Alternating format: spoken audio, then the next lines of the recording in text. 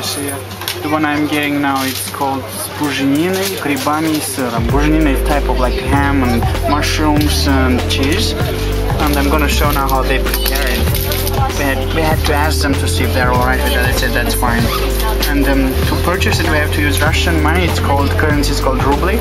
Right now she's cooking for me. Hello, this thing is Svetlana. She's taking cheese right now. From refrigerator. It's gonna be. It's gonna be huh? This is Russian drink called kvass. Almost like beer, but it's not alcohol. It's different a little bit. Seafood. That's different type of ham. It's a little different. She's putting mushrooms right now. And some pickles. Cucumber pickles. And cilantro, I guess it is cilantro Or parsley, I don't know what's the difference.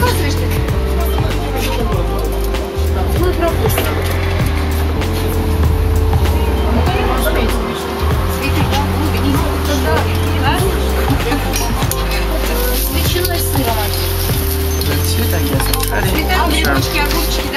Awesome. Спасибо большое.